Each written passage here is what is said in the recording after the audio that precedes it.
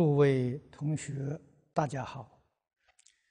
前面讲到，了凡先生拜访云谷禅师，在禅堂里面对坐三天三夜，不起一个念头。云谷禅师很好奇，问他。这是什么缘故？啊，了凡先生把他自己的命运被孔先生算定了。二十年当中是丝毫没有差误。这时他想起心动念的，也都是枉然，因此把这个心定下来。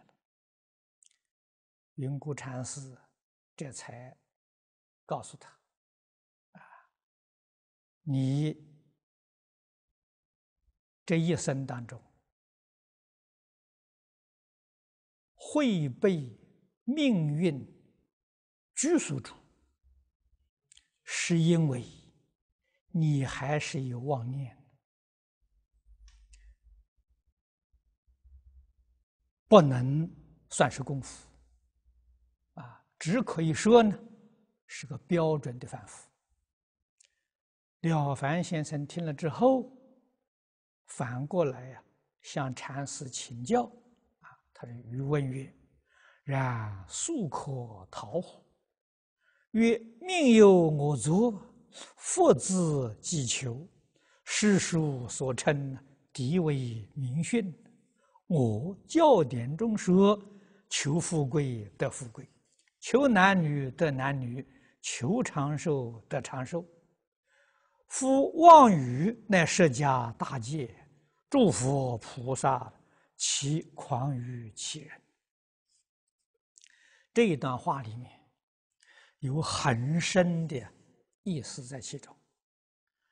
了凡先生问：啊，人既然有命运，这个命运可以能够逃避吗？提出这么一个疑问出来，禅师告诉他：“命啊是由我做的，福了是自己求的。”这两句话里面有很大的学问。首先，我们要明了，六道凡夫都逃不出命数。命数从哪里来的？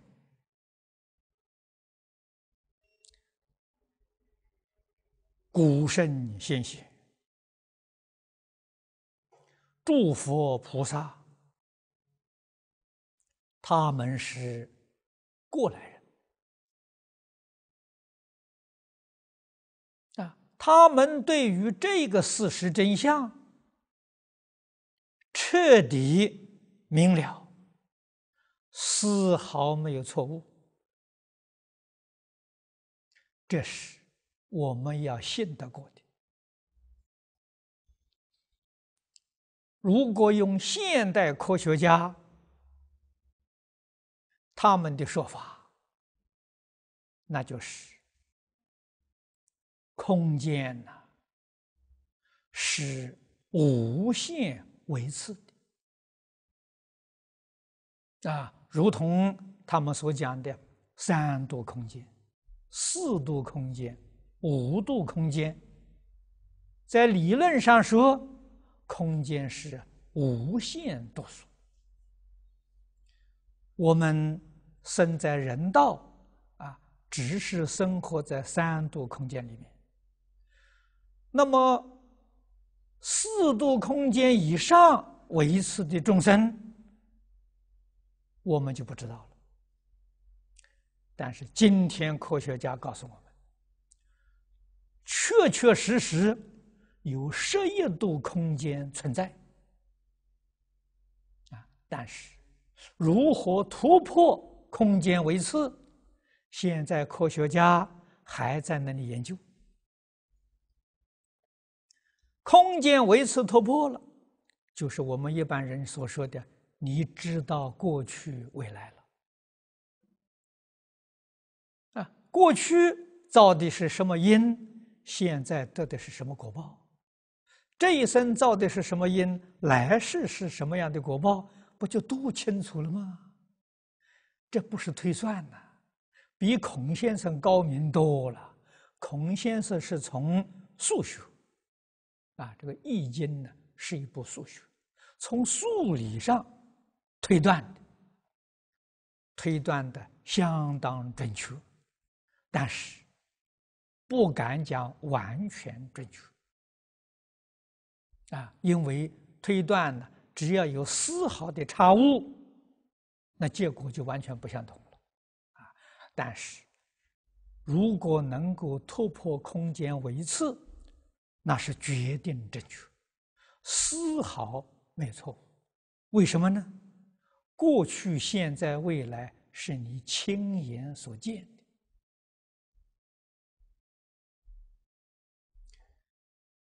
这些事情，实在说呢，还不难。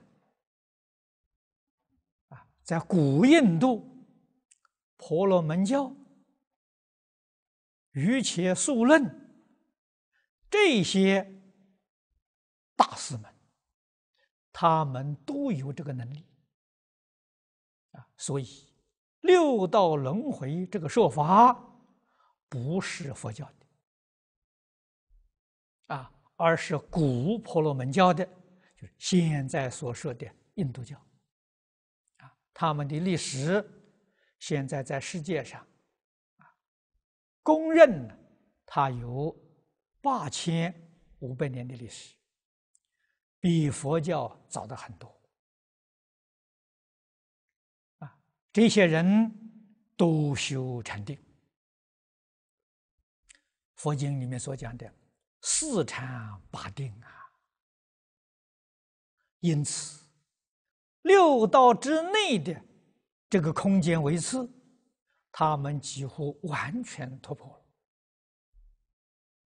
了。所以，对于六道里面的状况，他说的很清楚，啊，但是他只知其当然，而未知其所以然。这六道怎么来的？为什么会有这个现象？为什么会有这些变化？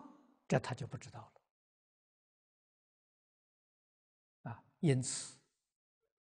释迦牟尼佛出现在这个世间，他为的是什么？为了啊，这些人有能力观察到这些境界，但是对于这些境界还有许许多多疑惑不能够解除。释迦牟尼佛出现到世间，就是为了这桩事情啊。所谓是众生有感呢，佛菩萨就有应。啊，这样把释迦牟尼佛感应到这个世间，为我们说明这些现象的所以然。佛在《大乘经》里面讲的很多，啊，特别是在《华严经》上。不仅啊是六道，六道之外呀，还有四圣法界，还有一真法界，啊，这个都是归纳起来说的。如果细说，那不是言语能说得尽的，啊，就像科学家所说的，空间是无限维持的，跟佛在经典所说的话完全相应了。那么这么多不同维次的空间怎么发生的呢？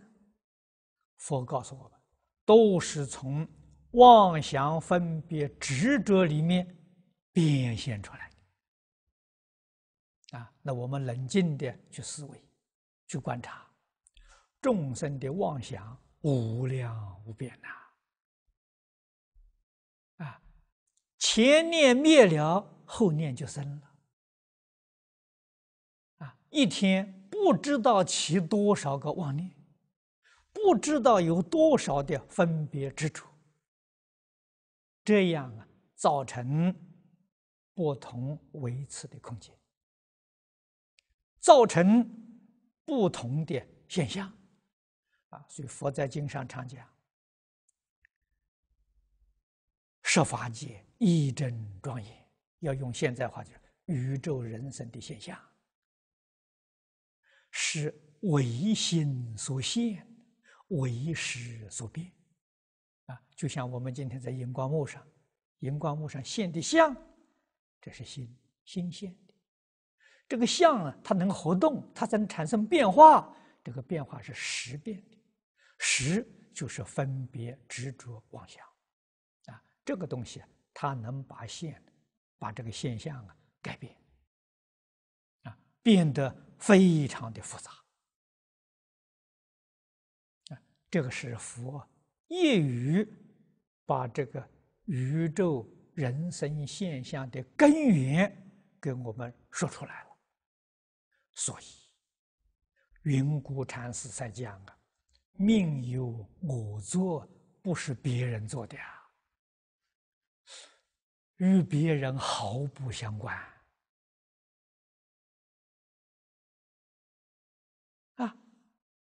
自己身外的境界是一个幻境，《金刚经》上说的好：“一切有为法，如梦幻泡影，不是真实的。”啊，这种现象，佛给我们说，不能说它有，也不能说它无，就如同做梦一样。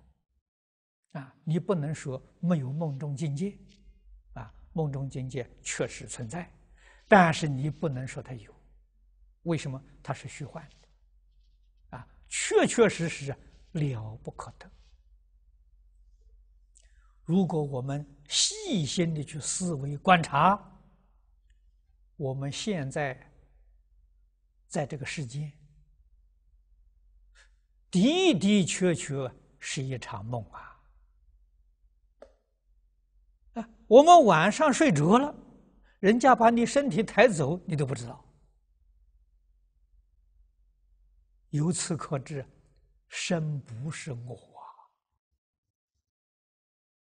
啊！西方的哲学家很聪明，他知道这身不是我，于是他提出一个理论，说我思故我在。啊，那就是承认说，物质的身体不是我。虚幻的，但是能够思维、能够想象的，哎，这个生活，这是比一般人呢要高出一等了，啊，是不是真相呢？不是的，啊，我思，我思啊，是妄想啊，不是事实真相啊。所以佛法比他的境界就更高了，啊，连我思也放下，彻发地愿呐，恢复到真心，恢复到本性，然后才看到宇宙人生的真相。啊，这个真相在佛教里头有个名词叫一真法界。啊，或者叫真如，啊，或者叫第一义谛，名词术语佛用的很多，啊，那么佛在教学为什么要说这么多的名词？他这里头有个用意，就是叫我们明了事实真相，不要执着名词，执着名词又产生妄想分别执着，啊，所以这个是属于教学的方法，教学的艺术。那么我们既然弃了妄想分别执着，今天。想把妄想分别执着断掉，心里想啊，我也很想啊，问题是什么呢？断不掉啊，那个妄念还是一个接着一个，这就是我们的功夫不能成就。我们虽然在经教里面明白了，深信不疑，这在佛法讲，我们只是觉悟啊。我们没有正德啊，没有其如啊真实的境界。要正悟才有用，觉悟啊没有用处，啊不能解决问题，啊因此觉悟之后啊要修行，啊要把这些理论，把这些方法。落实在自己生活当中，逐渐提提升自己的境界，这个样子才能解决问题。于是，这才说六道里面的众生啊，这个是妄想分别执着比较重的啊，命由我作，我们这一生。穷通富贵，这是命！这个命啊是有定数，定数从哪里来呢？自己造作的。佛家讲的因果通三世啊，人。决定是有过去式，有未来式。佛讲到就近处，他讲这个时间讲刹那了，刹那这个时间很短暂的。啊，我们今天讲时间单位，最小的讲秒，啊，佛家讲刹那，啊，刹那怎么个计算法呢？佛用弹指。啊这一弹指有六十个刹那，一弹指不到一秒啊！啊，我们如果弹得快呀，一秒钟我可以弹四次啊。那么这一弹指是一秒钟的四分之一，这四分之一叫一刹那，这一刹那里面呢，啊，就这个一弹指有六十个刹那，就是四分之一秒啊的六十分之一。才叫一刹那，一刹那里面有九百个生灭，就是念头，一个念头生，一个念头灭。这一刹那当中有九百个念，九百个念头生灭，这个太微细了，我们一般人觉察不到。啊，我们常讲粗心大意呀，啊，什么人能够观察得到呢？入定。定就是清净心，啊，把自己的妄想分别执着通通佛住了，啊，所以相当深度的禅定啊，这个生灭现象见到了，那是大功夫啊！云谷禅师恐怕还没有见到，啊，大乘佛法里面讲，能够见到啊这个刹那生灭的头数。大乘原叫八地菩萨，八地叫不动地呀，跟如来的果位呀非常接近啊。八地上面是九地、十地等觉，那就是佛的果位了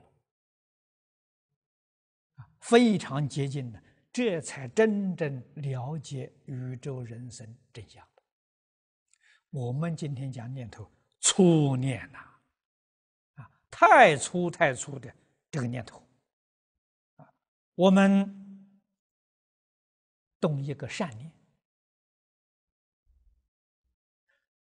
利益别人，利益社会，利益众生，果报是福。我们动一个恶念，恶念是利益自己，啊，所谓是利己损人。这个念头在佛法叫恶念呐，恶念果报是凶啊，果报是灾祸，所以一个人一生的。吉凶祸福啊，是我们起心动念、言语造作的果报啊，也可以说是言语造作的现象啊。这就所以说是命由我作。真正明白人、通达人，肯定这个说法。肯定这个事实，他在这一生当中，无论遭遇的是什么样的横逆不善的环境，他绝不会怨天，绝不会尤人，啊，他不会怪别人，反过头来他怪自己，我自己造作的不善呐，所以才受这种苦报。啊，明了之后呢，那佛要自己去求啊。怎么求法呢？改过迁善。我在年轻的时候，早年啊，我的父亲过世啊也很早，我二十一岁呀，我父亲过世，我们生活。正好遇到中国跟日本的战争，受过这个八年战争的苦难，学业没有完成。那个期间，我们是流亡学生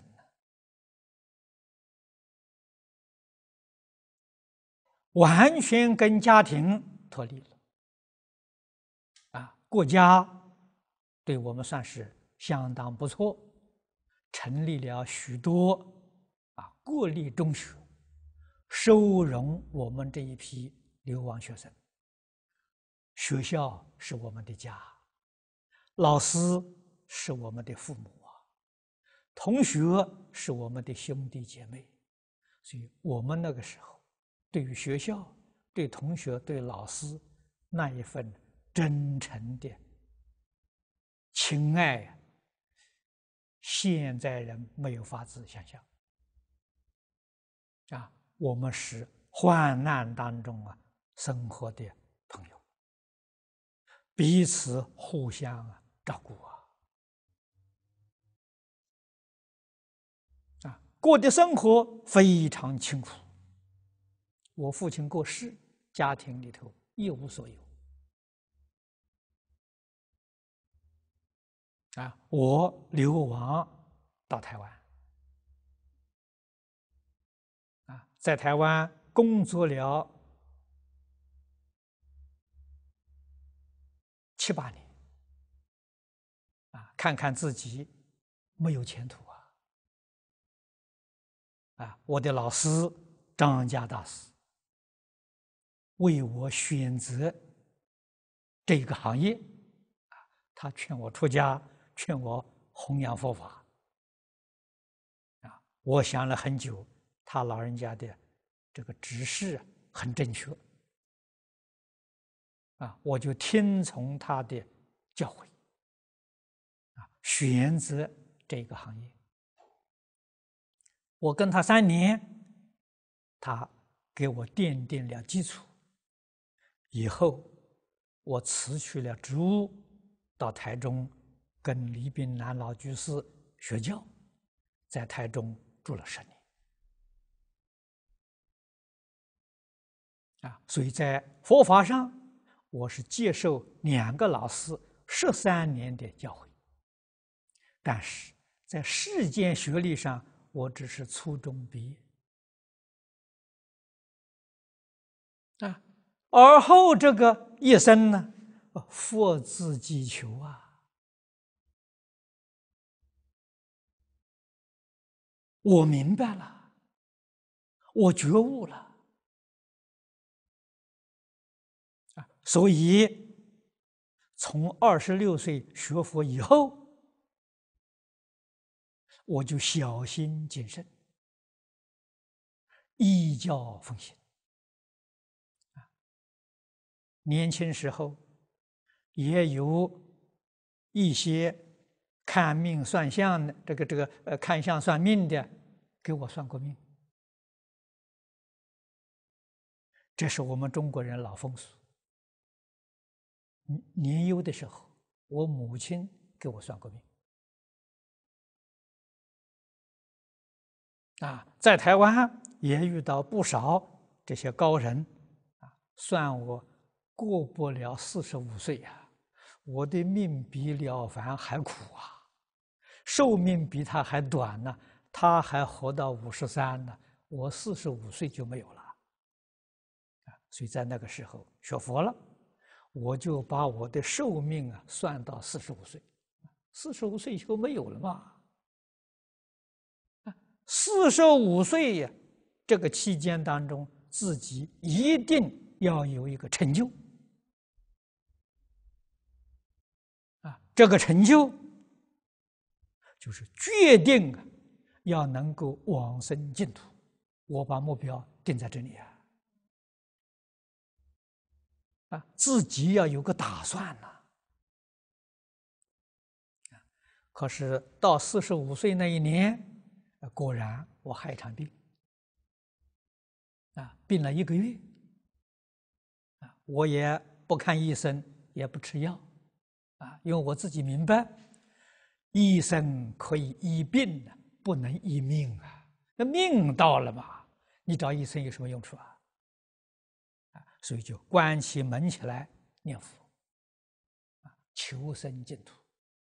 每天有几个学生，啊，替我做一点东西送给我吃，吃稀饭酱菜。啊，这一个月之后啊，身体慢慢就好了。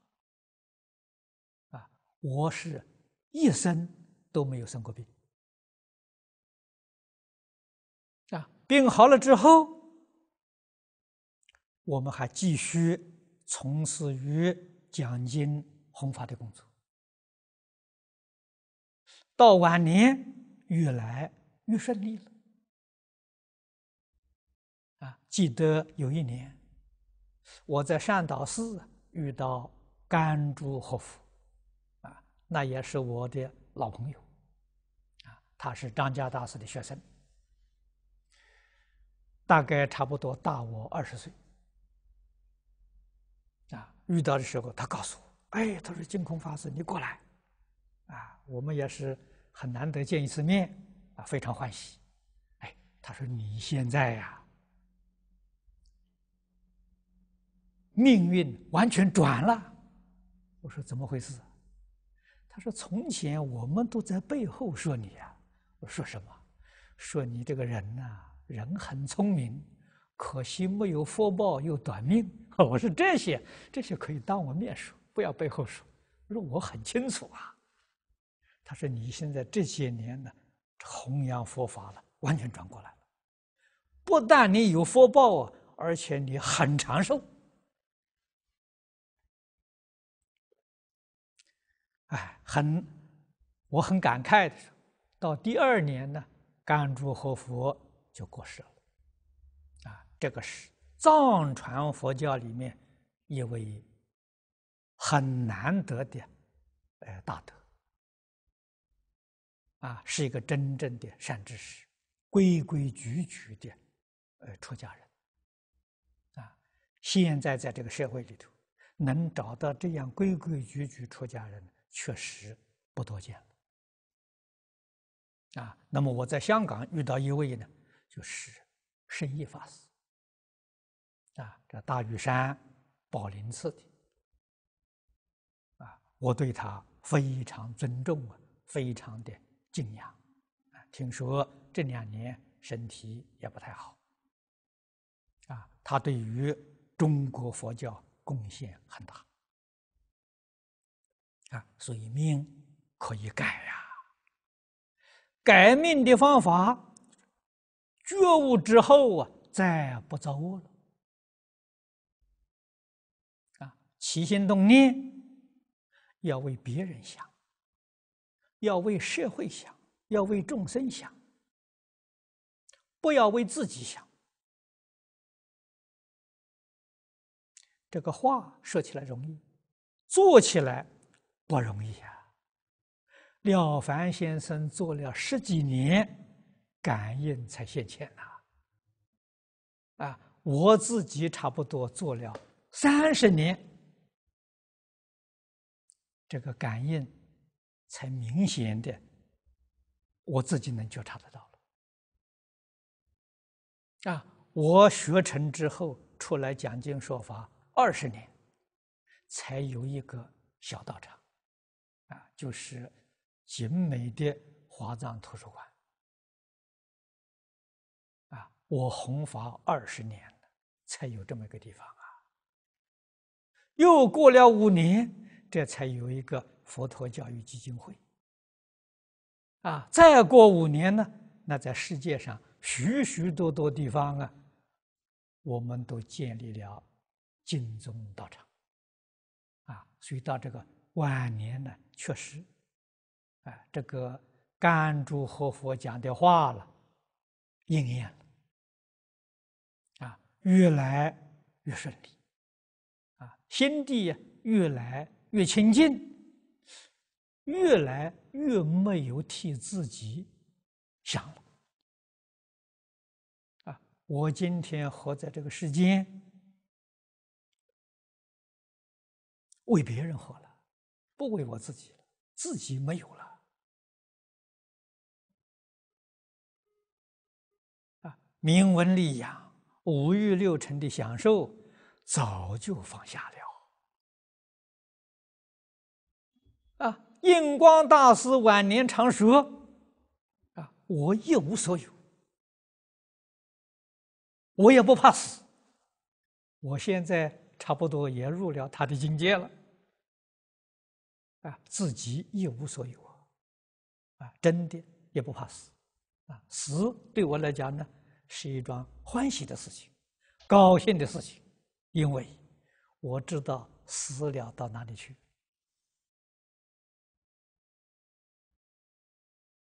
这生从哪里来，死从哪里去，清清楚楚、明明白白啊！这就叫命由我作啊，佛自己求啊！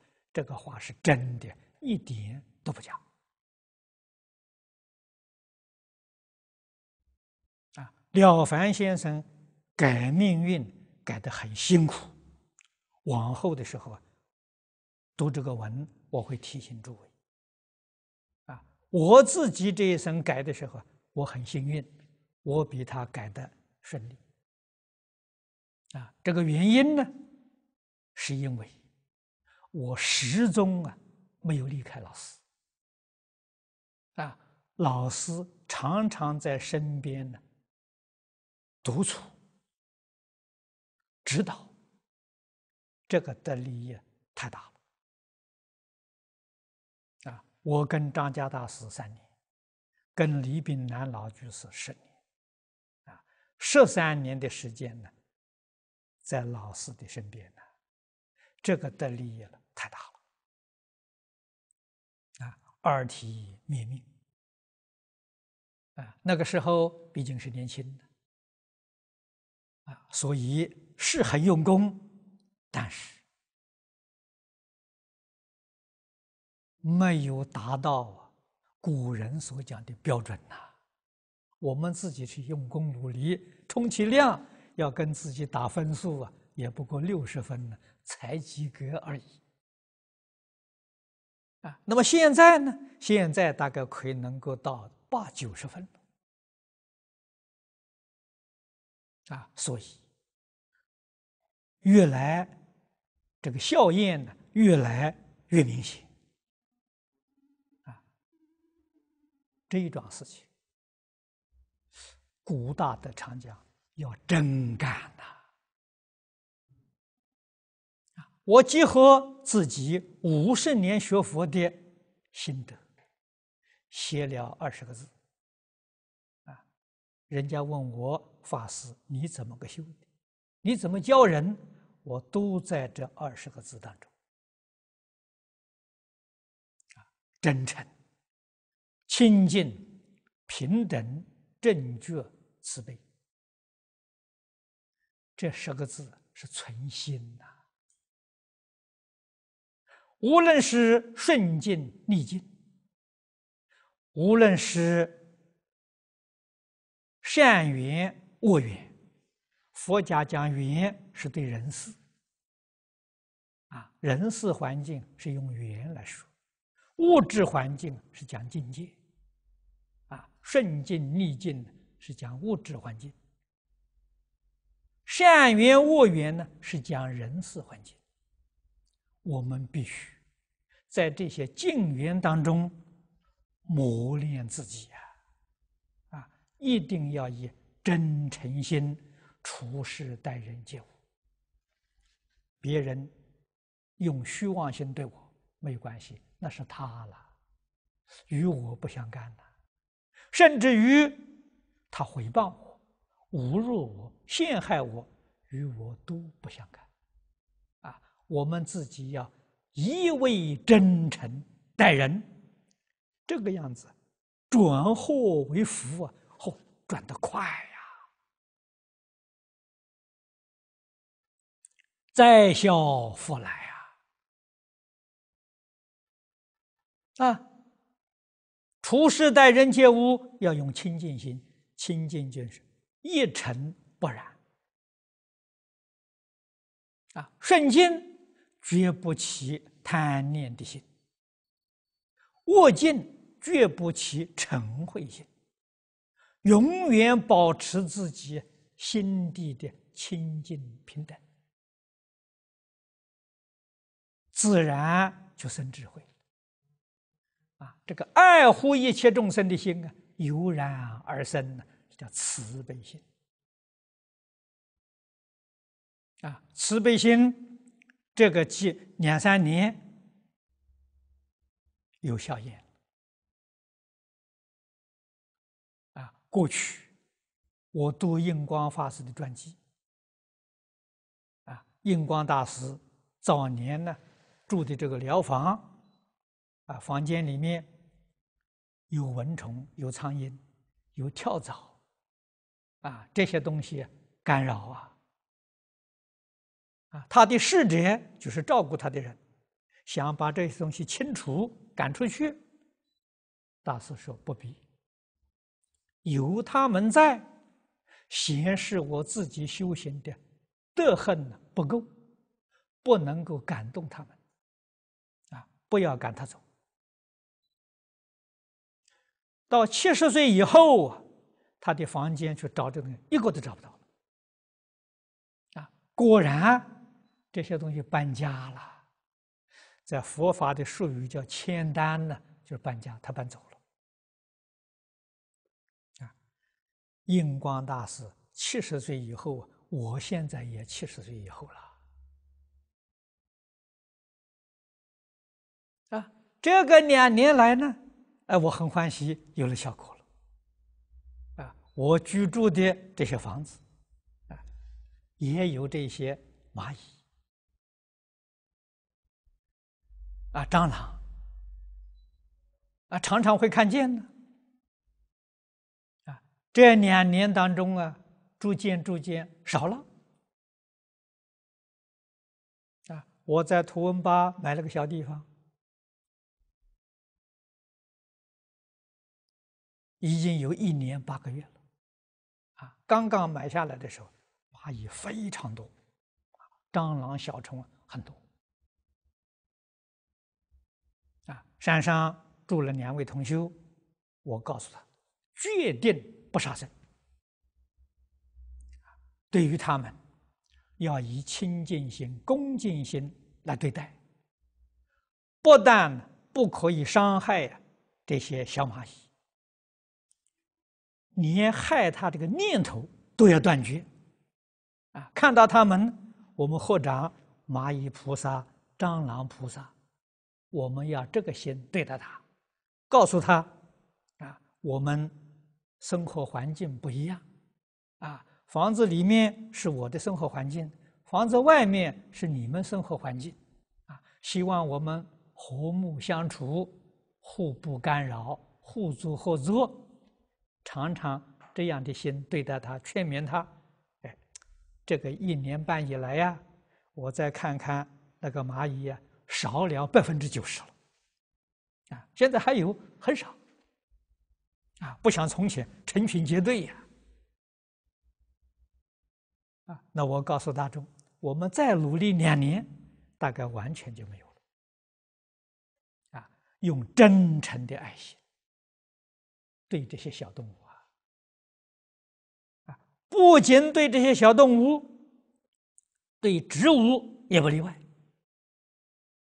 我们是这个花园里面种了很多花啊，很多是树木，还有这些呃蔬菜啊，在山上我们自己种蔬菜，我们也是用爱心对待它，啊，爱心照顾它，花开的特别美，开得香，啊，这些小树蔬菜长得特别好，啊，我们不要用化肥。啊不，不要用农药，完全没有，是以爱心来照顾。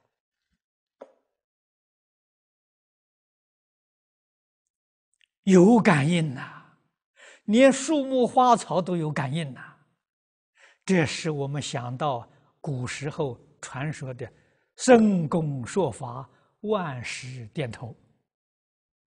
啊，连石头都有感应，这个我现在还没有。没有这个呃效应，现在我相处的只是到植物，啊，植物跟我有感应，啊，石头还没有，深功的功夫比我还高一等，我还达不到他的功夫，这都是跟诸位说明，命由我做，福自己求，啊，我这一生当中五十年学佛所体验到的。命运完全转过来了，啊，虽不敢说得大自在、大圆满，啊，但是自在圆满呢是接近了，有信心呢可以得到。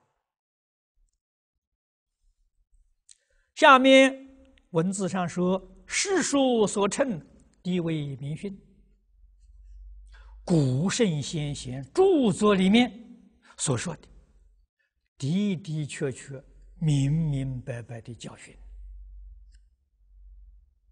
我们要相信。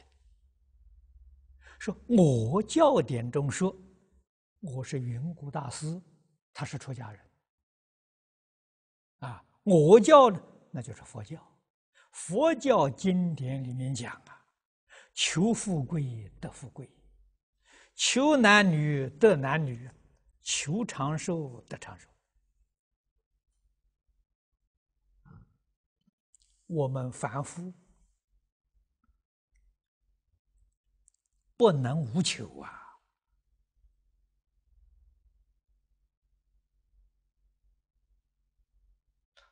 我早年学佛，